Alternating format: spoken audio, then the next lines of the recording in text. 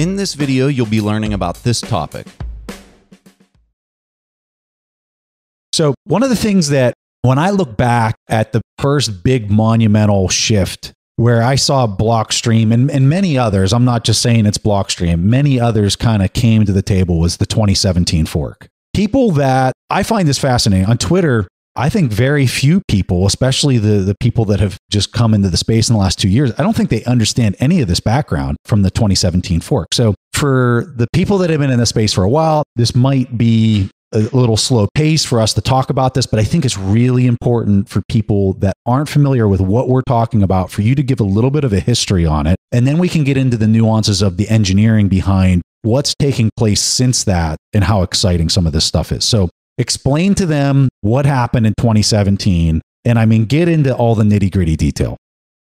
All right. So, I guess that episode of Bitcoin's history, it goes by a few names. There's the scaling debate the fork wars, the Bitcoin civil war. I mean, which one? Do, which one do you think is a, a more suitable? All of them, all moniker? the above. Yeah. Yeah. So it, it, was a very interesting time, and I think it culminated in 2017, or maybe yeah, I think culminated in 2017. But it started. The genesis was in probably even earlier. So Pete Rizzo and uh, Aaron Van Wirdum recently released a post about uh, P2SH and that little mini war. That I think that was uh, the beginning of the, the schism where Gavin Andresen and other developers started beginning this little conflict. And I think it heated up when um, Mike Hearn and Gavin tried to push Bitcoin XT as an upgrade. And that was probably mid to late 2015. And the idea behind that, I think, is largely them trying to get rid of the other developers based on disagreements and not seeing eye to eye. And Gavin's often presented as a, you know, a very good developer, but that I don't believe is actually the case. And that is a source of that friction between him and the other developers. So the beginning of this, the genesis is really an effort to fork off Bitcoin and tell everyone that uh, we're upgrading. So I forgot if it was Gavin or Mike. One of them contacted me back then. Uh, I was the CEO of BTC China or BTCC, which was one of the largest exchanges and mining pools. And they were contacting me because they said, we're upgrading now it's time for you to upgrade to Bitcoin XT, and you know this is supported by all the developers. And at the time, the channels of communication, people being accessible and making their opinions heard, it was very, very different from what you see today. You know, everyone is vocal. They're on Twitter. Adam is out there. He's got 200,000 so on followers. But back then, like there was no Bitcoin Twitter or even crypto Twitter. Discussions for Bitcoin development were largely on the mailing list and in IRC and I think the general populace just had a very poor understanding of um, everything that was going on. And it opened the door for them to try to throw this upgrade up there or quote unquote upgrade and say, you know, this is it. And this and, upgrade that you're referring to was all about being able to do more transactions, right? Per block. That's what this whole thing yes. was about. Everyone was looking at it and they're saying, well, how's this thing going to scale? Because, and I might get this number wrong. What's the number that Bitcoin can do per second? Seven to 10 seven it's to 10. And then when you look at Visa and MasterCard, it's like tens of thousands, like 20 or 30,000. Is that correct? Yeah, something like that. Upwards of tens of thousands, 20s of thousands. So people were looking at this and saying, all right, well, this clearly isn't going to work long term because it can't scale for the number of transactions that are going to be needed if this tries to take on a, a, global presence. All the engineers that have been involved to date were like, how do we solve this? And so Gavin, who you were talking about, was coming with what did you say the upgrade that he was calling it? Bitcoin XT. Bitcoin XT. So you're working in a mining pool and you're saying, what in the world is this? Yeah. And um, well, there's two ways you can look at that. The optimistic way is that these guys wanted to scale Bitcoin and uh, they're coming out with the best of intentions that they want uh, higher TPS and they want to scale it to the point where a billion people could use Bitcoin on chain transactions for pennies on the dollar. And then the uh, more nuanced approach is it was a power play because of this struggle with the other developers, because of disagreements and possibly their lack of ability. And then the even more darker way is this was the first attempt to co opt Bitcoin, to centralize it, to um, basically hard fork it and exert control over it at the protocol level. Um, because once you do that, then there is really no going back. You've set yourselves down this path where you can upgrade it at any time. And then you kind of become like Ethereum, which is, you know, willy nilly upgrades. Anybody can change a number and it's largely meaningless. There, there is no immutability. And just for, for the non technical folks that are listening to this, when you try to put that many transactions into one block, the problem that pops out of this is it requires a huge amount of, of hard drive space for anybody running a full node. Because you have such a, a massive amount of hard drive space required to run a full node, you're pretty much pushing into servers, and only a few people can run the servers, and it becomes centralized. And then those few people that are running the servers basically control any and all updates that happen in the future. So there's this trade off that Samson's getting that he's describing here, where if you keep the block small so that anybody and everybody can run a full node, the whole protocol continues to be decentralized and no one can take it over. But the problem with doing that is you keep these small transaction size, five or six transactions per second, which clearly doesn't work long term. So talk to us about how the solution that ultimately took place, how did that, all that unravel? It's a very long story. Like there were several different upgrades that came out, quote unquote upgrades that came out, and there were sides lines were drawn in the sand of who was a big blocker and small blocker. So there's this division of people that wanted the block small because, as you were saying, it is important. And I think even today, I don't think people fully understand the importance of why you want anybody to be able to sync up a full node. Because once you become a centralized service, there you can't really decentralize yourself, right? If every Bitcoin node is in a server farm, well, that's really no different than the legacy financial system where you trust the bank. You know, you ask the bank, how much money do I have? The bank tells you, you've got a thousand bucks. That's it. End of discussion. Whether it's right or wrong.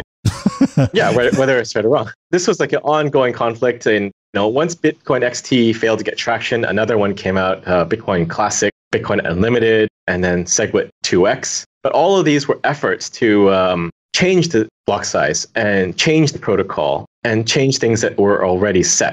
A common theme during this era was the Bitcoin developers and, and Blockstream by extension, because Blockstream often gets conflated in all of these arguments with Bitcoin development, because there were a lot of developers, Bitcoin core developers at Blockstream. But the argument was like, you guys don't want to compromise. But it wasn't really the point. Like, that was never the case. You can't really say the developers don't want to compromise because as we learned at the end, at the culmination of the, the scaling civil war, it's the users that matter. So this was kind of a, a, false argument saying those guys, those developers, they want to control the protocol. They don't want to increase the size. They don't care about uh, people living in third world countries being able to transact for free. It's all their fault. But at the end, we saw we had well, lots of companies band together into this big alliance Coinbase, BitGo, a number of uh, companies under DCG, and they formed this coalition that was pushing SegWit 2x. I just want to provide my point of view from, from 2017 because the argument that people didn't want the transactions to be able to occur for all the unbanked, really kind of the Roger Ver argument, right? That's a strong argument, but what I think it fails to do, it's putting the priorities out of whack. Like they, they had their priorities not in the correct order. And from my vantage point, the number one thing, the number one priority is having a fixed number of units inside the protocol that cannot be manipulated and it has to be decentralized, right? Like that is priority number one because if you don't do that vital thing, you're not fixing the problem because the problem yep. is that we don't we don't have a peg for any currency in the world right now. And so we have to get that perfect. We cannot even have a blemish on that particular mission. And then anything else that we can do on top of that as a second tier spin-off, right? As far as transactions to the unbanked and all that kind of stuff, like that's the icing on the cake. As far as I'm concerned, and it seems like the market agreed and, and went in that direction. But you know, a lot of people listening to this might say, well, I don't understand why one thing was more important than the other. But I can see by the way you're nodding your head, you completely agree. It seems like everybody else there, Blockstream agreed, right?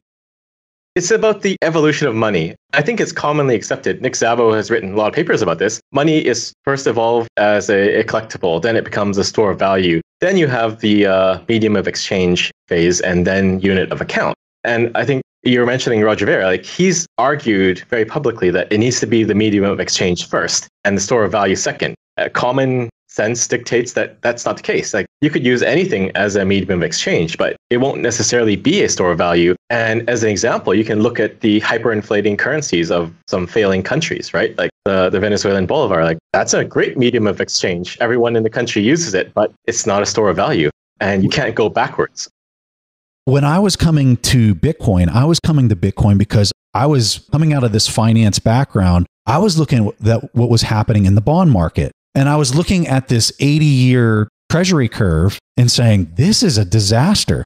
Like this is being completely manipulated and we're going to zero. And then after it goes to zero, people are going to be taking cash out of their bank account and putting it in into underneath of their bed because that's going to give them a better return than a negative interest rate. And so when I was looking at it from that lens, from the finance lens, I was like, we've got to fix the money, not the, we don't have issues with going to Starbucks and paying. Like that's not the, the fundamental issue here. The fundamental issue is we've got this race to debase. And man, what a, what an important step for Bitcoin at this particular point in time back in 2017. Having not known anything that uh, the research that I know now versus back in 2017, I was very concerned with this fork and once I learned, this is going to sound really basic for a guy like you, but when I learned that when the fork was going to occur, that I was going to get both coins, it was kind of like, okay, well, there's no risk here. Like, I'm just going to let the market decide which one is right. And then it's not really kind of a risk to me. And I think that's a really important point for people coming into the space for the first time. They might hear, like, oh my God, they can fork the code. Well, what does that mean? And, and,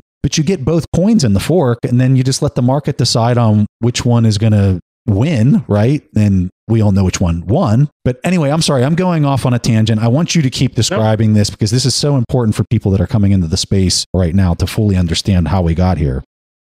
So I think the crux of that whole thing was can somebody come in and change the code? Can companies band together and dictate a change? Because when Armstrong was leading this charge, Brian Armstrong of Coinbase, he was basically saying this is an upgrade and we companies have decided. And there was a lot of power behind that. Like they had the mining pools too. Jihan Wu from Bitmain was backing this heavily. Coinbase was a huge player at that time. Blockchain.com, .info, those guys as well. But this was a, a question like, who controls Bitcoin? Who dictates the future of Bitcoin and where it goes? And that question was answered. It's the users, ultimately.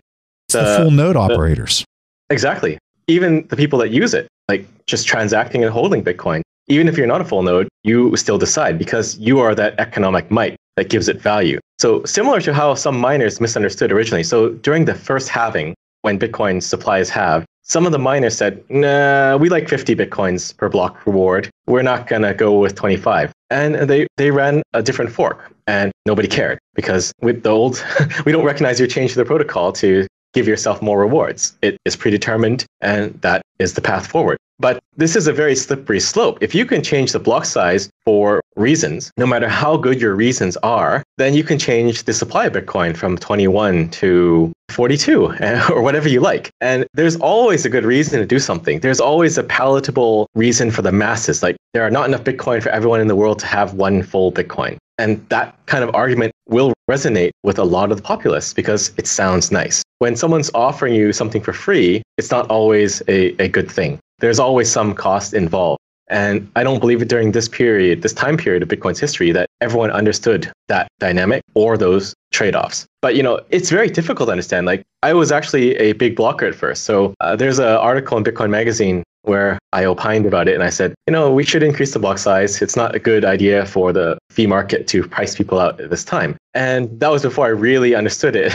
And I had a long chat with Adam for a good couple hours, and he explained a lot of it to me. But the workings of Bitcoin are just counterintuitive. Like there's nothing like it. Nothing has existed like Bitcoin in history before Bitcoin. And it just takes a lot of time to wrap your head around those mechanics of why it works this way and why things are important. Like, why do I need to run a node? It doesn't make any sense at first. But when you really dive in and, and figure it out, then it makes perfect sense for people that are our traditional investors that listen to the show, they understand corporate governance and they understand voting rights. And the easiest way that I would describe running a full node, it's like having a voting right to which protocol wins and which one you're going to. So if if we have a bunch of miners from China that say we don't like this protocol, we're going to upgrade the software and we're going to try to do this. Everyone who's running a full node is saying, well, you can do that, but this is the one that we're we're saying and we're voting for that everyone's using. And if they want to mine on a version of software that's not compatible with what all the full node operators are saying is is Bitcoin, well, they're just wasting their their time, their energy, and their money. So I want to hear your opinion on.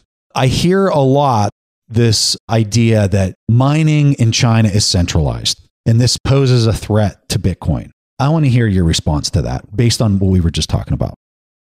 Yeah, so so back then during the fork wars, it was a scary time. Like there were all these mining pools saying we're going to do something, we're going to upgrade to uh, SegWit 2x, right? Like the thing that people don't understand about mining is the pool operators are communicating, but the individual miners are still like regular people. They could be a small operation, they could be a big operation, but they don't have that same voice. So it's the pool operators in some sense taking advantage of the hash rate they have under their command, which is not their hash rate for the most part. Like some pools might own their own miners, but for large part, they're just providing a service to their customers. And during that time, they were actually misrepresenting a lot of the intent. So being in China and knowing a lot of the individual miners, that was not the case. Like they didn't want this thing. This was just somehow politicized. Like Bitmain and Jihan just got it into their heads that we want big blocks. And he didn't really ask his uh, customers, do you want this too? But he made a lot of bold statements at the time. So that is one common misunderstanding of how mining works.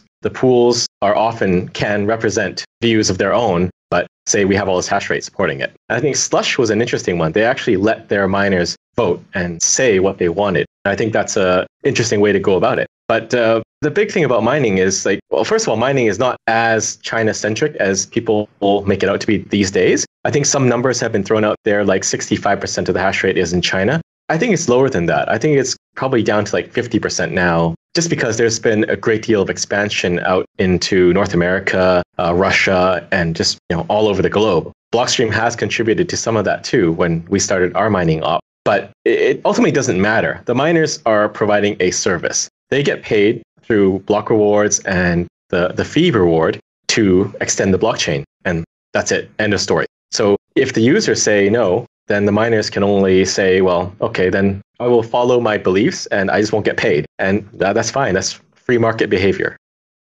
Thanks for watching. Make sure to subscribe and hit that notification bell so you don't miss out on the next podcast episode and new investing resources.